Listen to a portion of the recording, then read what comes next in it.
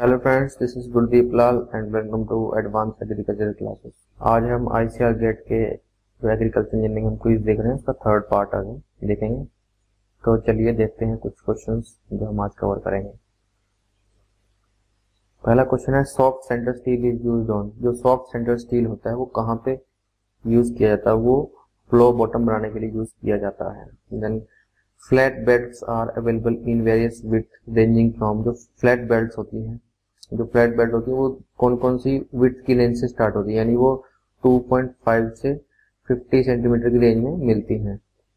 दो तरह की बेल्ट होती है फ्लैट बेल्ट एक वी बेल्ट तो जो फ्लैट बेल्ट होती है, वो 2.5 से 50 सेंटीमीटर वाइड की हो सकती है। The datum adopted for India जो जो डेटम है इंडिया के लिए एम एस एल जो कराची है, वहाँ से हम कंसिडर करते हैं। The benchmark B M establish by the survey of India is known as G S G T S B M इसको हम G T S B M कहते हैं। The surface of still water is consider to be level जो still water होता है level को हम level मानते हैं। The surface tangential to the level surface set to be a horizontal surface the line of collimation and axis of telescopic should be coincide जो दोनों है, वो कोइंसाइड होने चाहिए। When uh, which there is relative movement between crosshair and staff reading is known as collinear error. The staff reading taken a point of known elevation is termed as क्या कहते हैं इसको FS reading बोला जाता है internal focusing telescope is focused moving the जो internal focusing telescope होता है वो किस चीज़ को मूव करने से उसका जो फोकस है एडजस्ट किया जाता है उसका फोकस हम डबल कॉनकेव लेंस को एडजस्ट करने से फोकस एडजस्ट करते हैं। By artificial check we can sure the accuracy of calculation artificial check से हम कैलकुलेशन की एक्यूरेसी को चेक कर सकते हैं। Benchmark fixed at end of day work is called as arbitrary benchmark जो डे एंड के टाइम पे हम हमारा काम खत्म करने के बाद जो हम बेंच मार्क लगाते हैं, उसको हम आर्बिट्री बेंच मार्क कहते हैं। The operation of leveling from finishing point to the starting point at the end of day's work is known as check leveling. The operation of leveling across any river is termed as reciprocal leveling. The operation of leveling from any benchmark to starting point of at of any project is known as the fly leveling.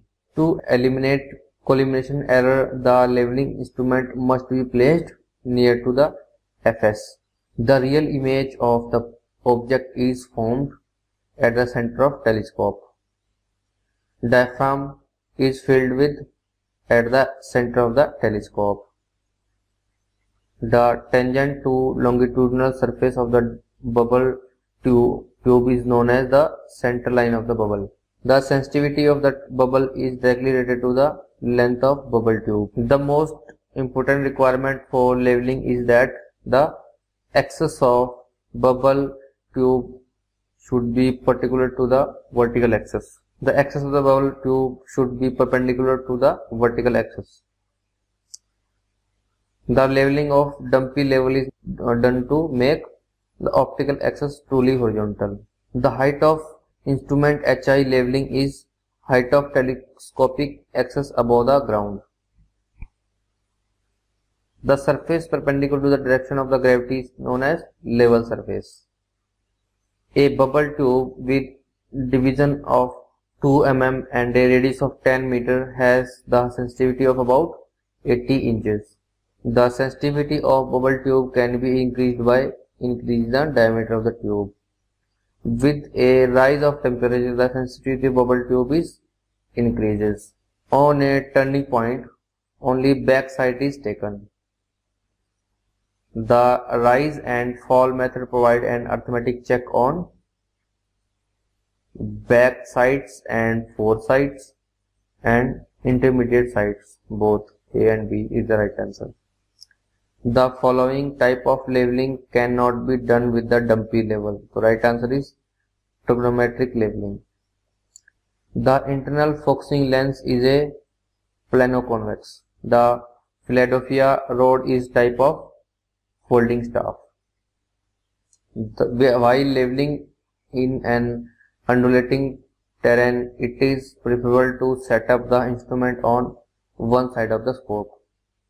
Which leveling of steep slope is preferable to set up the instrument successfully along a curved line? Right answer.